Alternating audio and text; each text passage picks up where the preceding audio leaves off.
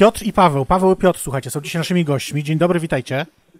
Cześć. Cześć. Jest późno już, bo nagrywamy tę rozmowę dosyć już tak, że już dawno słońce zaszło. E, Jak dzień wam minął? Dzisiaj leniwie. Leniwie, na słoneczku trochę. Nie, naprawdę, aż tak?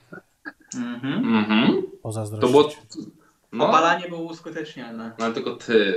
No dobra, ja się, ja się opalałem e, w oparach e, lampy, znaczy żarówki. O. Czy to było nagie opalanie, czy nie? E, Pomijmy to pytanie. Szkoda, to dobrze, niech będzie. Mm, Słuchajcie, yy, wiosna się zbliża, wiosna taki, znaczy zaczęła się, może nawet niektórzy powiedzą, ja mam nadzieję jeszcze, że nie, że jeszcze będzie zimno, ale, ale jakieś tam już oznaki są i widzę, że coraz więcej miłości jest w powietrzu, słuchajcie, że jest coraz więcej emocji, uczuć, pragnień i chyba u was też coś się wydarzyło takiego, że jakieś macie nowe pragnienia, których nie mieliście do niedawna. E, Kwiaty rozkwitły, k- e, ptaszki zaćwierkały. Tak, a ściany na różowo zaczęły świecić. No właśnie. się. Słuchajcie, czyli co się stało? No bo y, pamiętam jakiś czas temu rozmawialiśmy i tak nie było żadnej mowy o zaręczynach, a tu widzę jakaś sytuacja się zmieniła. Dobrze, że nie, dobrze nie środkowe. E, No, zmieniła się. Zgadza się. To była forma nieplanowana, to znaczy, e, ja nie wiem, czy to tobie mówiliśmy, czy wszystkim innym poza tobą, e, ale, ale prawda była taka, że od roku Paweł miał w głowie tą świadomość, że musi się zaręczyć. Znaczy, że nie to, że musi, ale że Że ja powinienem jemu się oświadczyć. tak, taka była, takie były ustalenia i to w całej naszej rodzinie i każdy się go pytał, kiedy on to wreszcie zrobi. E, No i to była dobra konspira, bo mm, to jak on się, e, nie wiem, jak, jak to powiedzieć, e, to jak ty się, e, ah, brakuje mi słów, możesz włączyć jakiś słownik na naszej planszy? E, Ja to będę jak tłumaczyć. On, tak. znaczy on się bardzo skoncentrował na tym, że e, to po jego e, stronie jest, e, są te zaręczyny. Mhm. E, ja wykorzystałem tą okazję, czy tę okazję, do tego, żeby, żeby to zrobił ja. No i oto jest. No to jest. Czyli w końcu kto się komu oświadczył, bo ja już się zgubiłam. Piotrek mi się A oświadczył. jednak. Tak. Y, Znaczy, no, No. oczywiście po pierwsze gratulacje, a po drugie y, czemu? Bo się kochamy. No ale kochać można się też bez ślubu, bez zaręczyn, bez oświadczyn. Kochać się też można bez własnego mieszkania, samochodu i kredytu hipotecznego. A, czyli tu wchodzą w grę jednak pieniądze. Nie! Dokładnie i nie. Okej. Nie, nie, nie, nie. Musicie wybrać jedną opcję, Nie, słuchajcie. wiesz co, e, to jest jakiś etap e, w naszym związku. To nie jest jakiś tam super ważny etap, e, jakiś tam krok milowy czy cokolwiek Mhm. innego, ale e, emocje, które nawet towarzyszyły tym, tym zaręczynom, emocje, które towarzyszyły temu, jak ja się przygotowywałem do tego, czy nie wiem, mierzyłem Pawłowi rozmiar palca. To jest historia na osobną książkę. E, Jakoś cichaczem, żeby To nie wszystko- wiedział, tak? Jakoś rozumiem, że... Tak, dokładnie. Mhm. To, to wszystko są tak, tak, tak fajne i ogromne emocje, e, takie łzy radości, można nawet powiedzieć, e, dla których warto chyba przeżyć e, te 15 sekund e, oczekiwania na odpowiedź, czy wyjdziesz za mnie. No i tak samo emocje, które towarzyszą nawet teraz e, jakimś planowaniu tego, tego wszystkiego, y, oczekiwaniu na ten dzień, oczekiwaniu na tę chwilę. E, I W sumie, w sumie nawet emocje, które towarzyszą e, po publikacji na, e, przez nas informacji, Aha. że zaręczyliśmy się po tym, jak opublikowaliśmy filmik i nagle okazało się, że rodzina, która do tej pory podchodziła dość obojętnie, Aha. Naturalnie, neutralnie do naszego związku, nagle się odezwała i powiedziała, ej, ale pamiętacie, że jak będziecie organizować ślub, to wiesz, bo my też tam chcemy być. Aha. E, więc e, to, jest, to jest fajne. Chociaż nie wiem, czy to jest poprawne, ale fajne. To, y, no nie wiem, to może Paweł powiedz, jak to wyglądało, albo właściwie nie wiem, który z was powie, no wszystko jedno.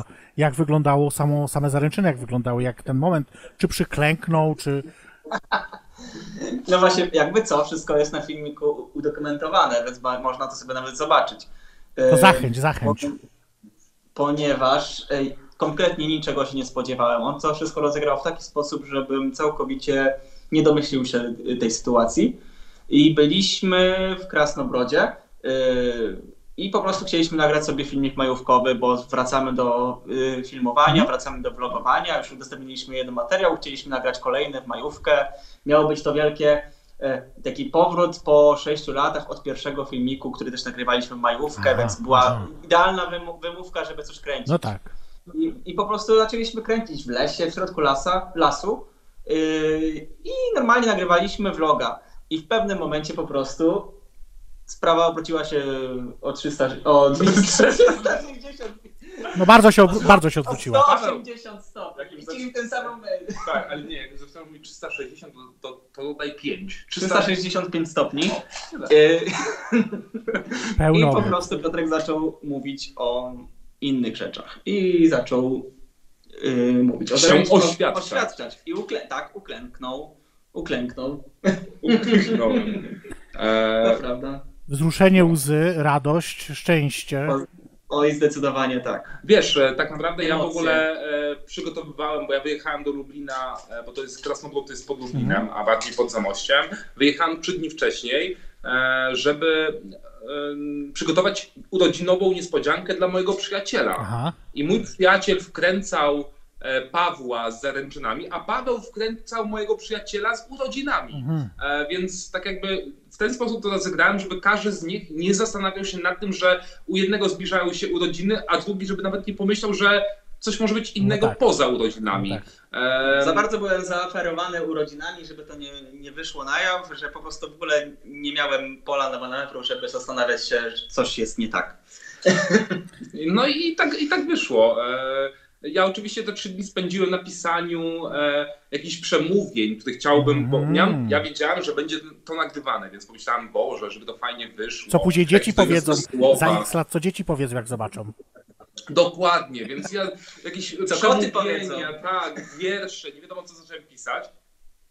I w dniu, kiedy Paweł miał przyjechać już do Lublina, ja sobie pomyślałem, po co w ogóle to robię? Przecież najlepiej będzie, jak ja pójdę na żywioł. Zawsze mi to najlepiej wychodzi. No tak.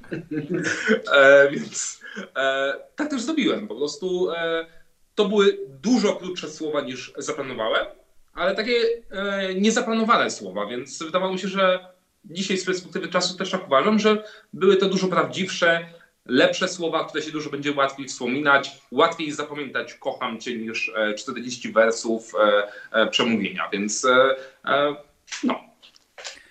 Słuchajcie, no dobrze, teraz zaraz pogadamy o waszych planach w związku z, z tym wszystkim, ale y, jak się czujecie z tym, że państwo polskie, Rzeczpospolita najjaśniejsza nasza, ma kompletnie w dupie wasze plany i mówi wam, że nic z tego nie będzie i ona nie uznaje, ona mówi, że nie, że geje dwóch facetów to jest e, abominacja, to jest łamanie konstytucji, to jest wbrew wszystkim logice i nie.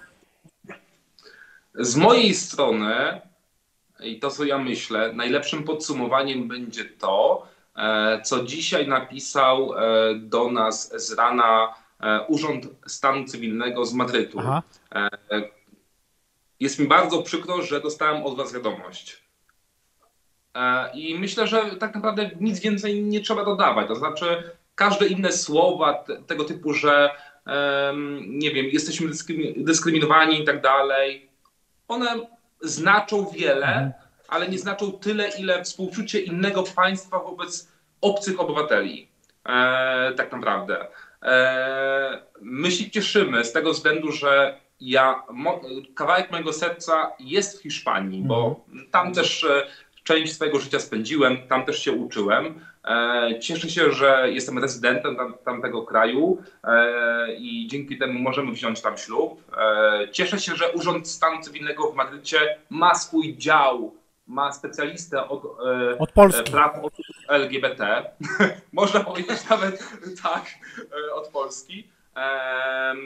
Więc po mojej stronie to będzie jedyne podsumowanie tego, jak ja się czuję dzisiaj, że moje państwo mnie dyskryminuje, że państwo dyskryminuje własnego obywatela.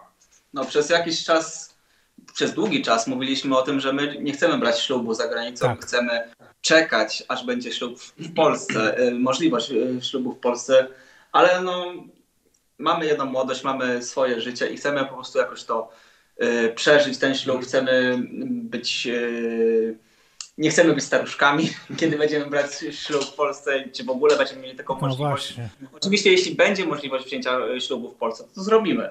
Bardziej nostryfikujemy. Nostryfikuje, nostryfikujemy, e, ale póki co chcemy przeżyć e, te emocje, chcemy razem po prostu obiecać sobie coś, przysi- przysiąść sobie. e, Coś, co już sobie Coś- przysięgliśmy. coś- No właśnie, tak mi się wydaje, że już to było.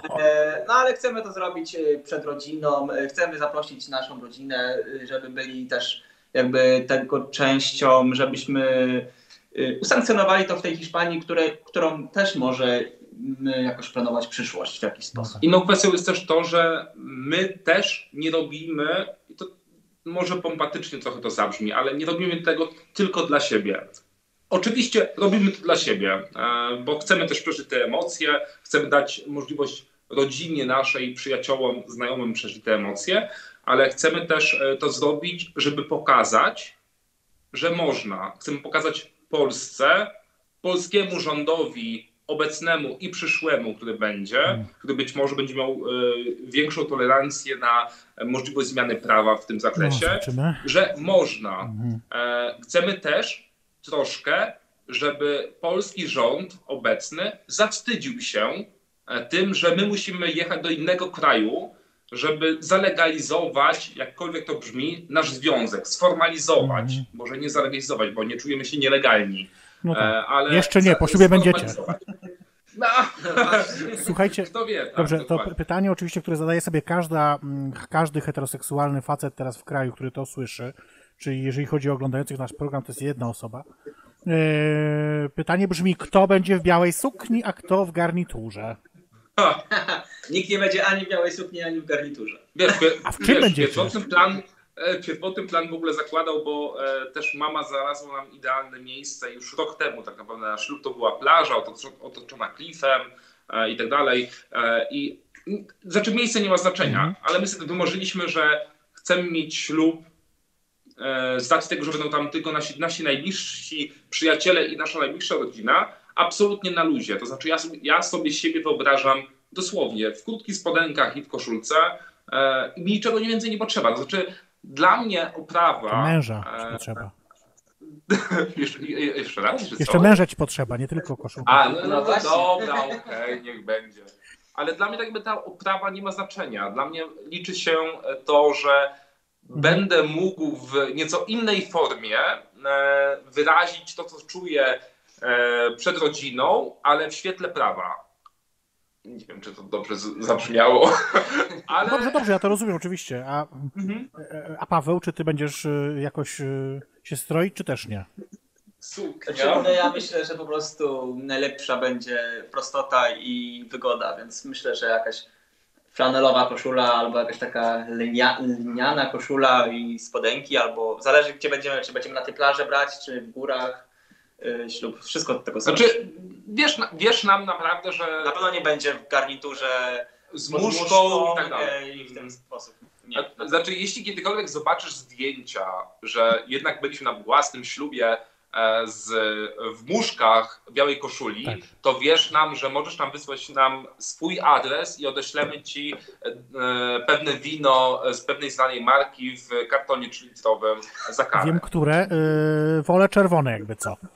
Okej, Dobra, dobra. dobra, co My preferujemy bardziej białe, no ale tym bardziej mniejsza szkoda dla nas. To prawda. Słuchajcie, to oczywiście brzmi bardzo fajnie. Mówicie o Hiszpanii. Jesteście kolejną polską parą, która wyjeżdża do Hiszpanii. Niektóre z nich robią to w celu, a też nie tylko parą, też no po prostu niektórzy geje uciekają do Hiszpanii. Mówię uciekają, no bo nie robią tego tak po prostu dlatego, że w Polsce jest super, więc szukają gdzie indziej, tylko no uciekają przed tym, bo tu jest chujowo. E, m, Czy konsultowaliście może z, z innymi parami, które brały ślub jednopłciowy w e, Hiszpanii, jak to ogarnąć? Czy, czy jakieś od nich macie jakieś e, dobre rady? E, Tak, nawet dzisiaj rozmawialiśmy z jedną z takich par, która też niedawno brała ślub, może kilka lat temu, ponieważ Ale nie w Hiszpanii. nie w Hiszpanii akurat, Aha. ponieważ Urząd Stanu Cywilnego z Madrytu wskazał nam, że do aktów stanu cywilnego, które musimy dostarczyć, to jest akt urodzenia i akt e, e, stanu cywilnego, e, czy jesteśmy, że jesteśmy kawalerami, musimy do, dostą- dostarczyć tak zwaną apostilla del Haja. E, Polsce to się nazywa po prostu apostilla. Więc wiemy, że to się da załatwić, Mhm. ale procedura jest bardzo długa. Na szczęście znajomi nam powiedzieli, e, w jaki sposób przyspieszyć to, z jakiej firmy skorzystać, żeby Okej. e, uzyskać jednocześnie i tłumaczenie, i ten dokument. A czy już macie- E, się. A czy, a czy już macie y, te zaświadczenia o stanie cywilnym z Urzędu Stanu Cywilnego? Bo wiem, że tu bywa problem i y, wszyscy wiemy, że czasami urzędy odmawiają, kiedy okazuje się, że chce się wpisać w miejsce przyszłego małżonka, małżonki y, imię osoby tej samej płci.